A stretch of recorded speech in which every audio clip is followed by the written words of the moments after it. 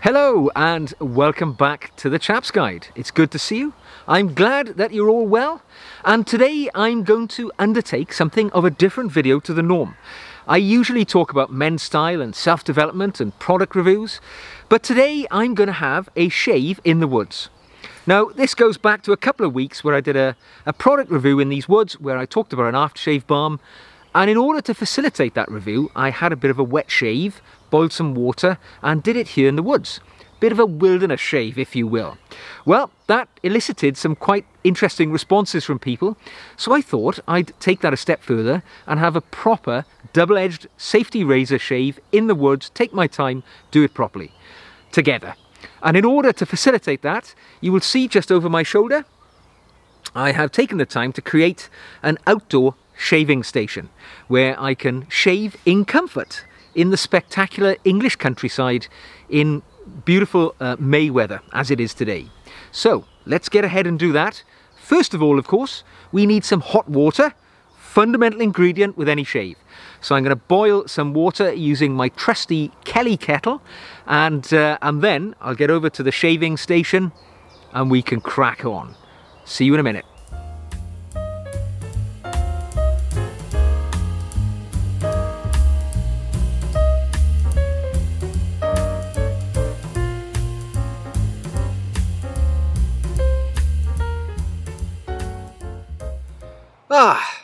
Right there folks, here we are. So I've set up at my outdoor shaving station and this is designed, I'm staring at the mirror and the camera is right next to the mirror. So if you see me looking this way, it means I'm looking in the mirror.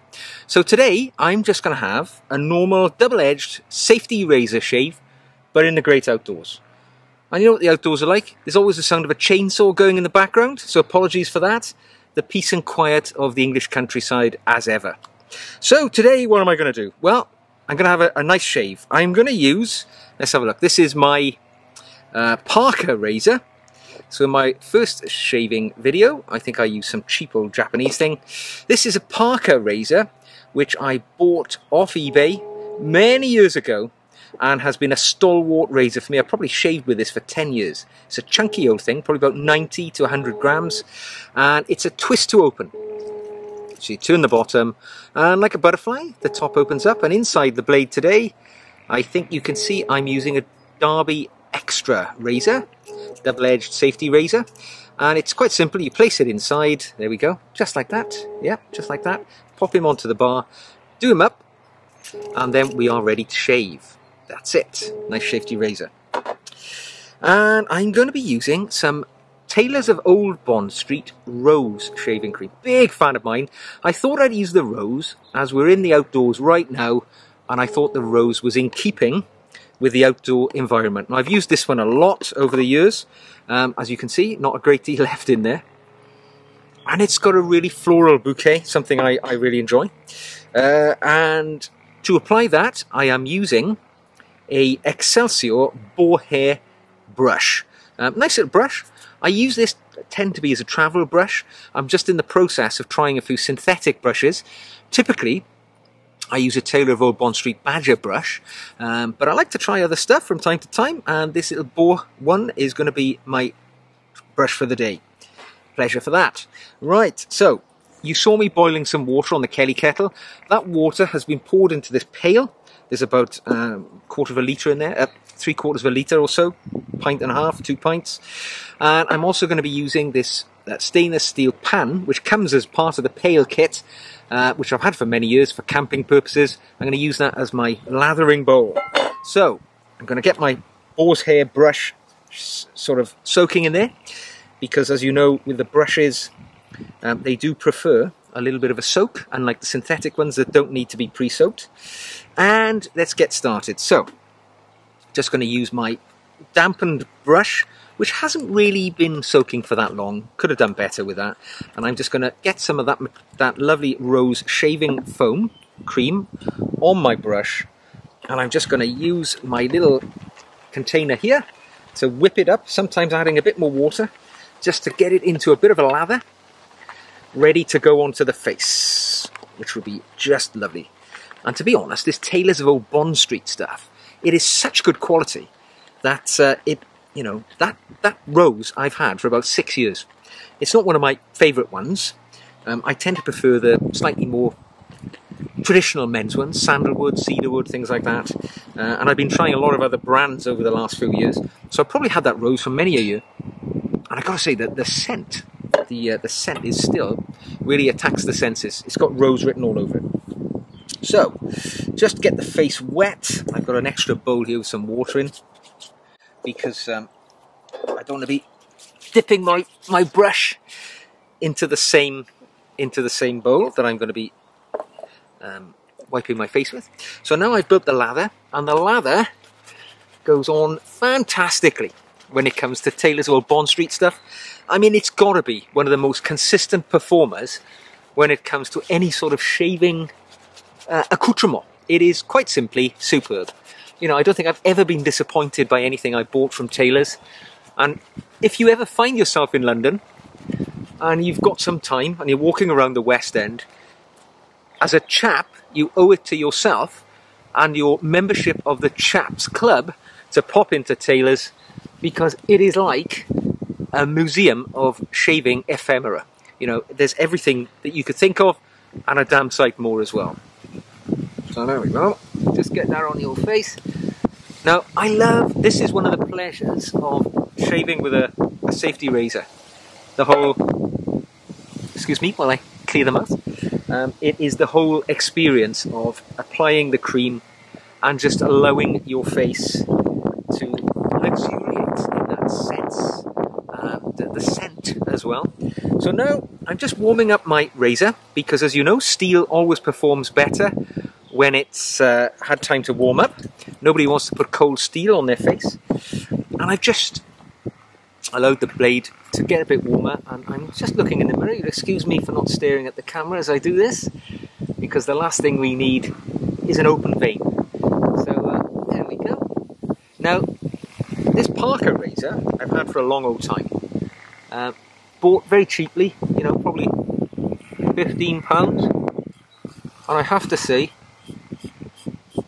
for the price I paid, it's had awesome service. Uh, it's not one of the big makes. It's not you know your Merkur and your Mühle, but uh, truth is, cuts pretty damn good. So for me, the actual shaving experience is one of life's joys. I know a lot of men will say, you know, it's a bind, it's a chore. And yeah, it is. Nobody really likes drawing a razor over their face ordinarily. And nobody definitely likes drawing a cartridge razor over their face. That is a chore, not a joy. And the secret to anything which is challenging and unpleasant to do is to turn it into an experience that's enjoyable. Because as you know, anything which is fun is not a chore.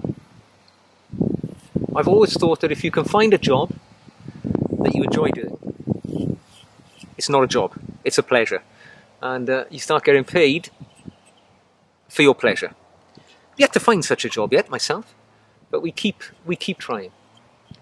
Now, I have to say, when you're outdoors and you're looking into a large mirror, as I am right now, with natural sunlight, it's May here in the UK. It's um, it's just coming up to four in the afternoon, so I've got two days of stubble on the face.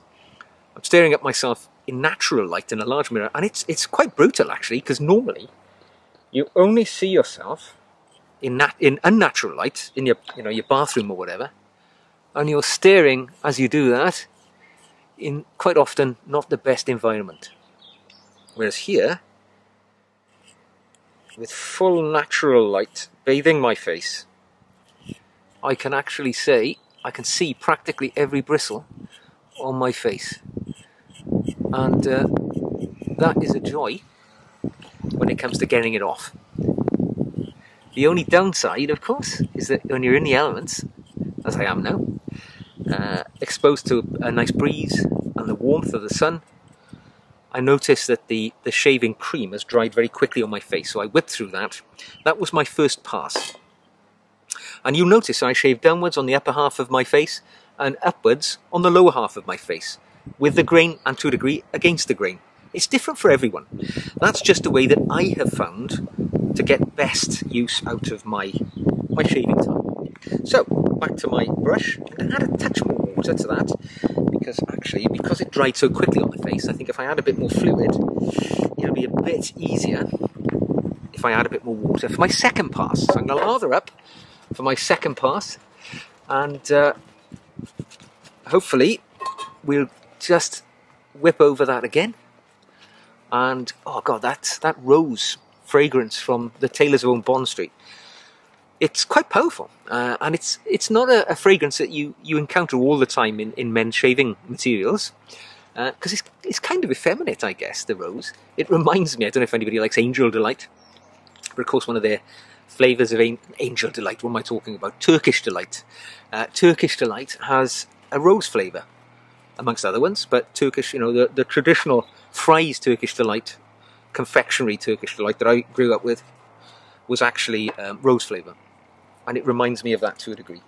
Okay, so second pass now. Now second pass for me, I don't normally shave upwards against the grain on the upper half of my face.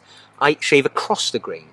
So I like to use my razor, and I know it's working because I can hear the bristles being cut as I draw that razor over. There we go. And you know, you can sense the cleanliness of that shave, the pleasure that comes from it. I'm going to do the same on the other side. I like to do my my face in hemispheres. Northern hemisphere above the chin, southern hemisphere below. So just going over that area now. There we go. Trying to keep it as smooth and using as little downward pressure on the razor as one can. Because the razor, quite a heavy razor this one, it's actually doing the work for me. I'm just going to go sideways across the moustache area. Pay particular attention, as I do, to that little space under the nose. Because uh, make a mistake there and nick the edge of your nose, and you know about it, don't you? You bleed for bloody ever. So try to avoid damaging that. Now, on the underside of the chin, I'm just going to shave downwards because I shaved upwards on my first pass. So very light shaving downwards, just allowing the blade to use gravity and its own weight just to carefully cut off that second pass, that last bit of whiskers that escaped the first pass. Now for me personally, I do have to be careful in the lower area because uh, I do get a little bit of sensitivity around that part of the skin and one doesn't want any lumps and bumps the following day. Although I have to say, when using a safety razor, the likelihood of getting that sensitivity decreases of course. So much better than having to use a cartridge razor in such a situation. I'm being a bit ginger because the light is so bright I can barely see what I'm doing.